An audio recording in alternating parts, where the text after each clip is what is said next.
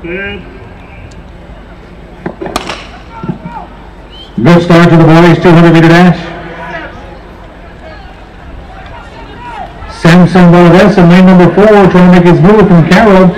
Leo Garcia and Mike Castillo Eagle Pass running strong.